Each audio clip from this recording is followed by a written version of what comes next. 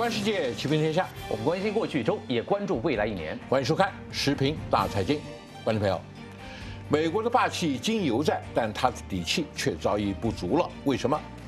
美国众议院动作频频，全票通过了要取消中国的发展中国家地位。稍早之前也召开了听证会，质疑来自中国的 TikTok。那更早之前还广泛调查华人科技专家。美国到底在怕什么？美国梦在上世纪曾经被很多人向往，但未来会不会变成噩梦呢？中美交锋十年十回合，为什么一美国一再处于下风？视频大财经关注天下大财经。首先，事关世界。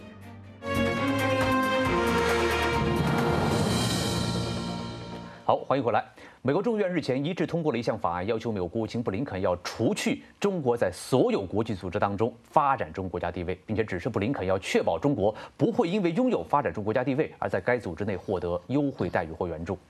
该法案在三月二十七号以四百一十五票对零票一致获得通过。那与此同时呢，中国字节跳动旗下的短片分享应用程式 TikTok 的行政总裁周受资在美国国会听证会遭到了五十多位两党议员长达五小时的围攻。议员们就质疑 TikTok 和中国政府过从甚密。违法的采集数据危害到美国国家安全啊！而在更早之前，我们也看到很多媒体报道说，美国已经针对在美国科技和学术机构从事研究和工作的一些华人科学家广泛的进行了调查。那这行动呢，已经导致近年已经有数以千计的华人科学家返回了中国。其实，所有这些讯息已经折射出目前中美关系的一个诡谲、紧张和复杂。那陈先生，你怎么来看？怎么去分析和评论？所有这些现象或者新闻呢？总结起来就给我一种感觉。就是作为一个一个世纪霸权的美国啊，现在是越来越不自信了。而这种不自信的程度呢，有的时候表现在他举止上面已经到了歇斯底里，甚至于在面对中国的时候，有点不顾自己的形象、不顾自己的颜面的地步了。非常赞同您的观点哈。那我很好奇，您怎么来看这个美国这种反常的啊、前所未有的，甚至有点可笑的一种行为？是想从美国角度来讲，我相信他心里没底想的。我我越来越占不到中国便宜了。啊，而且在很多领域，我要跟中国竞争，中国的竞争力现在是越来越强了，有这种感觉。所以他倒过来认为说，你中国占了我的便宜了。嗯，应该就这么去理解嘛。你比方说，举个例子，他对中国苛征关税啊，额外的关税，目的就在希望能够缩减美国对中国贸易的逆差，是吧？没想到没缩减，反而越来越大嘛，是吧？所以他就开始怀疑了，那你一定是占了你那个什么呃发展中国家地位那个便宜了嘛？所以我要把你取消嘛。啊，再一个，中国现在很多科技产业进步的越来越快，美国压力也越来越大，他就开始怀疑了，你一定在窃取我的科技了，所以开始大面积的去调查，在美国地区里面的科这个华人或华裔的这个科技科技专家，呃，这让人家感到这个惊弓之鸟，惶惶不可终日。就美国这种怀疑或者是逻辑，按理说是没有道理，或者说是讲不通的。是不是关键核心还是在竞争力这个问题上？呃，这点没错的。那这个竞争力呢？现在肯定一点，它的贸易竞争力现在是比中国是差得很远了。连科技竞争力，它跟中国在竞争，我觉得美国也越来越有点吃力了。那么现在连文化竞争力也开始面临到同样的形势了。就说贸易和科技两国的一些竞争领域的一些行为，其实大家已经非常熟悉了。您认为说目前在文化领域也开始了？来，我们刚刚讲前面提到 TikTok 就是一个例子嘛。是吧？这个呃，最近这个他这个众议院就开始大发这个 TikTok，TikTok 什么东西？我给你一些基本资料。这个呃，字节跳动之下的抖音的美国版的 TikTok，现在美国的活跃的用户是一点五个亿，就美国总共才三三点多个亿，就占了百分之四十五，就将近一半的美国人是，这是是他的活跃用户。那就尤其青少年，青少年十三岁到十七岁中有百分之六十七是经常。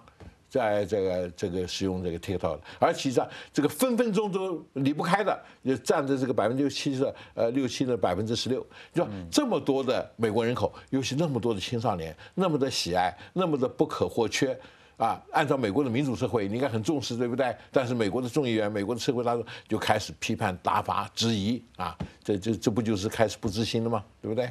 所以是跟文化是有关系的，对的。所以这美国呢，其实它一个文化霸权。在我们这个中国在批判它的时候，那个习文里面就指到它第五个叫文化霸权嘛。所以美国最清楚这个文化的力量。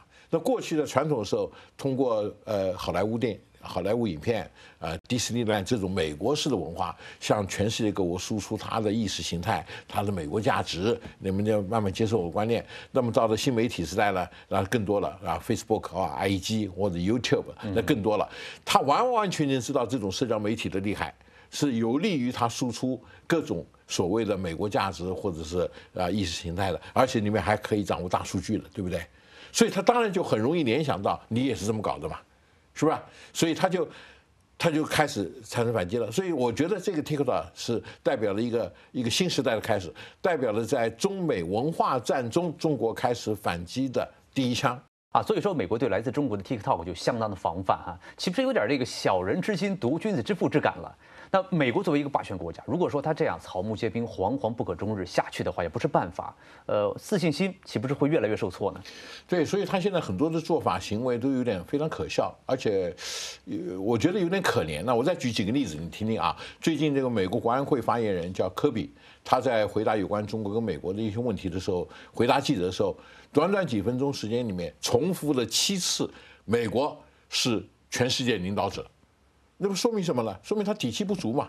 我就想到几年以前，就奥巴马那个时候，大概十年前吧，他在台上刚上去没多久，他还强调美国将继续领导世界一百年。你堂堂一个国家总统讲这话，这不是此地无银三百两吗？那还有那更呃大家记忆犹新的就是川普上台以后强调美国优先、美国第一，是吧？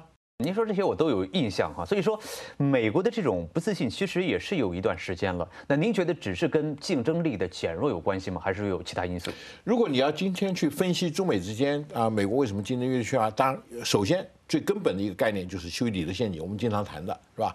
修理的陷阱，美国做老大，那看到这老二中国现在越追越紧，越来越紧，它压力当然就越来越大了，是吧？嗯。但这个是一般性的概念，但如果我们进一步还可以从一般性概念里面再。呃，进一步去展开不同的啊，让美国信心丧失的一些个别的案例。那如果我们以这个休昔地的陷阱作为一个基本的观察角度的话，怎么去展开呢？最近呢，我看了一篇这个评论家这个张豪先生写的一篇文章，他说美国为什么现在这样这样等等的，就是因为中国干了六件事儿，这六件事把美国都干崩了啊。他的意思就是，美国现在就是这样子，就是因为中干。我觉得这篇文章很有见地。那我觉得还可以再补充。我认为有十件事情，而且这十件事情基本上都发生在最近这十年啊。我们都知道，最近十年中国跟美国的，我常讲运势，对不对？嗯。这个运势出现了一个翻转，就中国运势在往上走，美国运势在往下走。那么之所以如此，我认为恰恰跟这十年中美的交锋这个十个回合有非常密切的关系。所以您的意思是，过去十年这个中美当中十个回合，中国都是占了上风？基本上都可以这么说，但至少也没有完全站在这个被被被美国压下去的感觉啊，所以这就解释了为什么美国现在面对到中国的时候，除了刚才讲修底的陷阱，中国老二追他老大追得越快越感到压力之外，又跟下面我们接下来要讲的这十个很重要的回合的交锋有关系。很好奇，到底这十个回合的交锋是什么？我们先一个个来，先说第一个吧。第一个就是非常非常著名的，就是“一带一路”。我们知道，二就在十年前，二零一三年。习近平刚上台没多久以后，就先后提出了一带跟一路的概念。我记得当时很多人都觉得这个好像比较抽象，是吧？而且好像还有点政治上的宣传的味道。其实不是了。其实一带一路相配套的亚投行，二零一五年成立的时候，啊，很多国家就纷纷踊跃的加入。到现在为止，作为成员国的，跟国际组织作为成员的，一共已经有一百零五个了啊！你看这个多，除了美国，美国到现在为止还是抗拒。那事实的确是 不仅如此啊，我还讲。那么，因为配合“一带一路”之后呢，有后来这个高铁，这个中欧班列出来了。这个中欧班列呢，这个从中国各大城市出发到欧洲二十四个国家，两百多个城市，一年就去年已经超过了一万列。这个形式就让。最早提出世界岛，我们节目里面提到那个麦金德在一九零二提了一个非常抽象的虚空的概念，变成很实在了。他说网络全部连在一起了，把亚欧非洲全部连了，这世界岛变成一个很大的一个现实的一个一个一个真景了。那过去十年的发展的确是按照这个势头来的。那您觉得美国会怎么看呢？我要是美国战略家，我看着都会怕。一般老百姓看不懂。我要是美国战，为什么呢？因为麦金德以前他就讲过。未来人类如果这种网络通起来的话，那么亚欧非这个世界岛将会是全世界发展最重要的中心。你可以看到吗？现在看东边是中国，南边印度，然后中东，然后欧洲，最重要都在这儿嘛。你美国反而是孤立在世界岛之外了嘛。而且这个地缘的翻转形势一旦出现以后，不可能逆转，在可预见的几百年都不可能逆转。那同样，这个地缘战略不可逆转形势对美国不利的，还有我接下来要谈的另外一个东西，就是南海造岛。南海造岛，我记得好像之前的时候，美国曾经多次对中国在南海造岛的事情表示关注，甚至提出过警告。但后来这些警告都没有用，因为它和“一带一路”一样，都是中国实力的一个展现。你讲的非常对，就是南海造岛刚开始就差不多二零一三年，习近平上去以后没多久开始，大概四年的时间，中国用这个独特的、独有的叫做吹填造岛。其实呢，我认为吹填造岛之前还加个字儿叫搅，搅它是先把那个花岗岩滋滋滋滋滋搅碎，搅碎以后吸啊搅吸，吸完以后再吹，一吹就是六公里到十五公里，一个天津号一个天鲲号就造出一口气造了七个岛出来。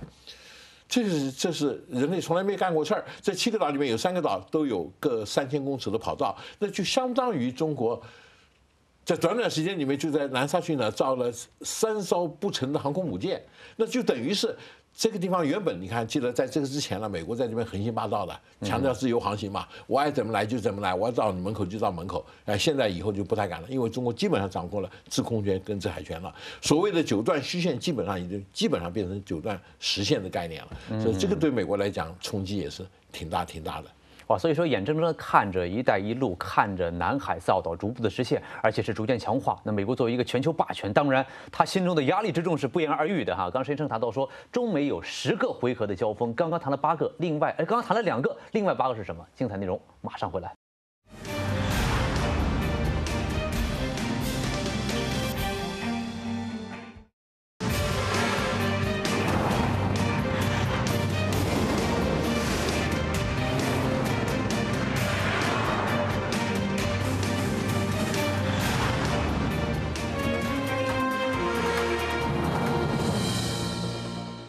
到齐平天下。中美交锋十年，有十大回合。上一节呢，实验生为我们分析了，在“一带一路”和南海吹填造岛这两个回合当中啊，都让美国是无可奈何，深感挫败。那接下来还有八个回合，实验生第三个回合是什么呢？又跟南海有关，真巧。我跟你讲，这个事儿又发生在南海造岛那个同一期间。那南海造岛刚讲二一三到二零一七，这个事儿发生在二零一六。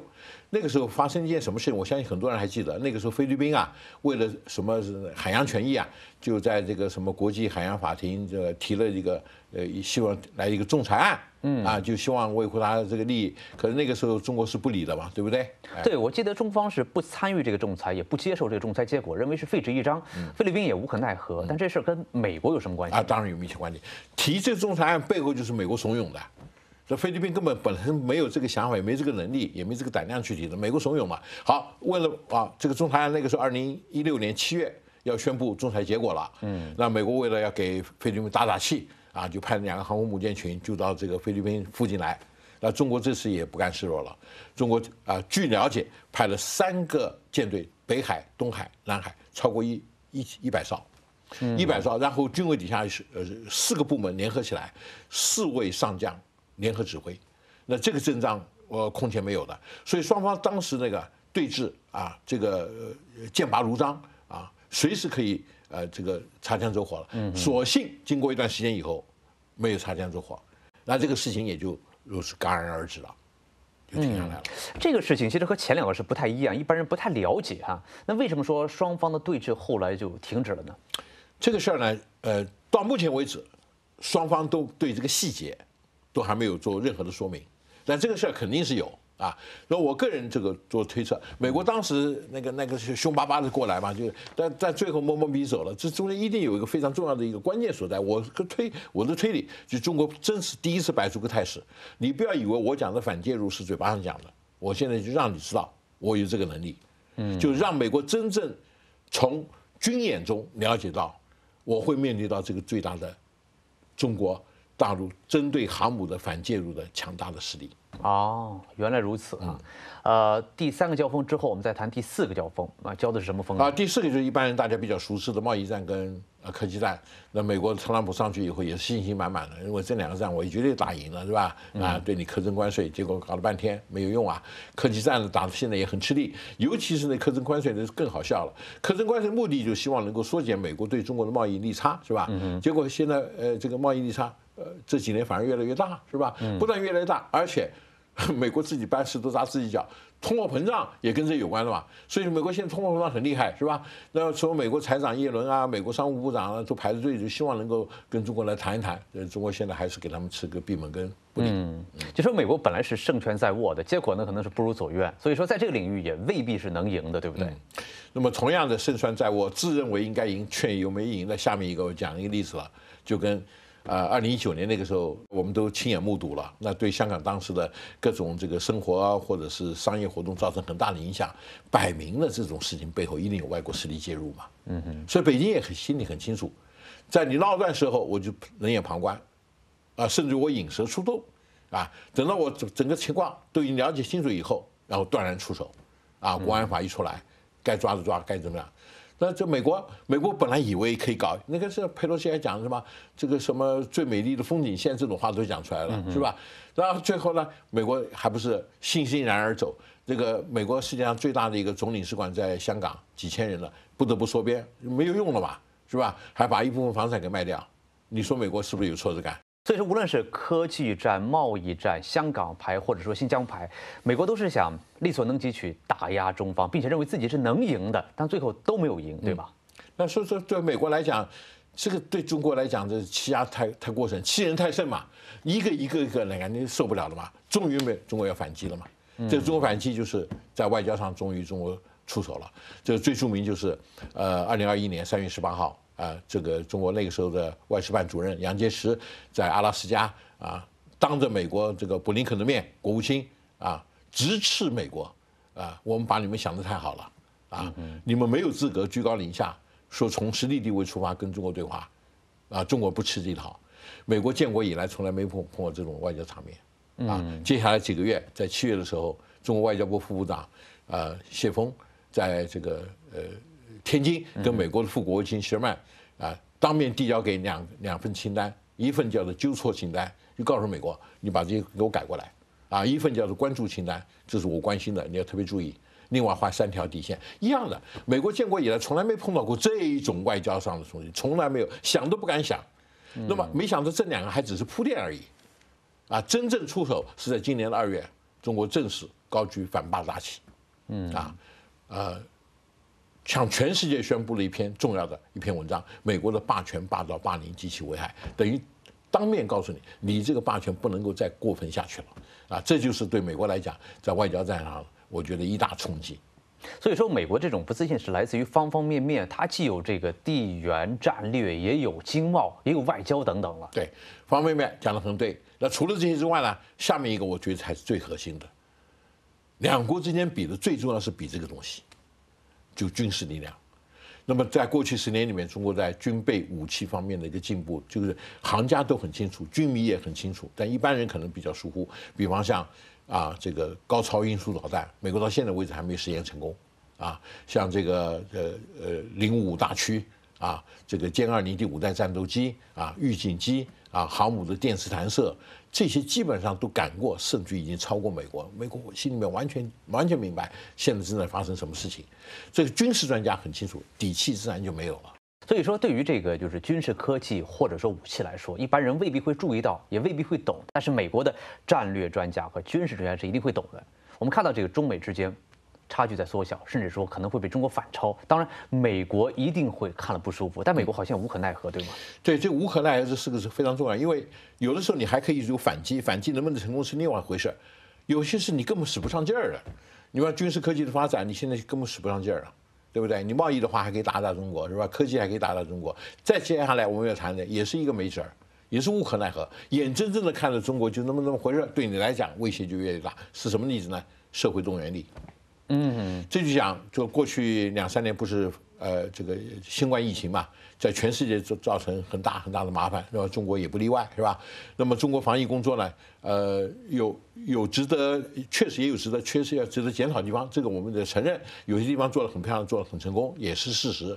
但我们今天重点不讲这个，而重点在防疫工作中所展现出来的中国的强大的社会动员力。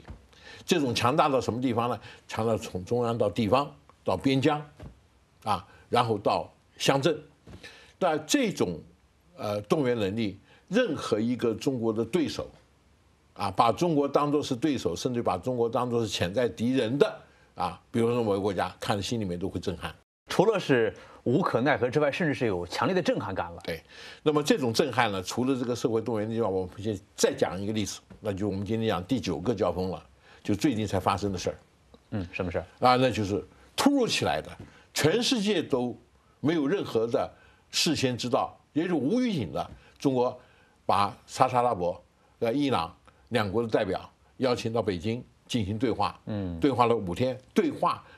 这个过程一般人也搞不清，突然间就宣布了，啊，在中国的促和之下，三方面发表的一个联合声明，然后作为世仇的沙特阿拉伯跟伊朗，那中间世仇的关系我们就不讲了，大家很清楚，居然能够在中国的斡旋之下和解了，愿意复交了，互设大使馆，互派大使了，这个难度我相信。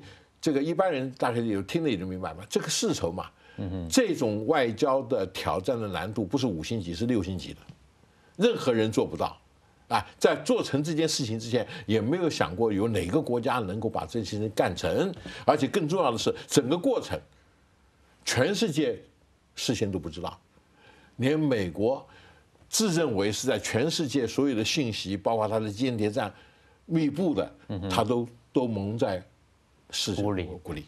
那这个对美国来讲震撼很大，也在一定程度上折射了中国在国际上的影响力，跟中国的一定的程度的形象跟威望，早已超过一般人的想象跟估计了。那美国怎么能够不震撼呢？您这样一路分析下来，就让我们明白，那个过去一直是居高临下、盛气凌人的美国，为什么会变得像今天这样如此的不自信了？嗯，没错。但是讲到这里还没完。还接下去还继续再讲，还有最后一个，还没有完的意思是说，美国的自信心还可能会进一步的受挫，那又是什么呢？好，精彩内容立刻进入到评说新语。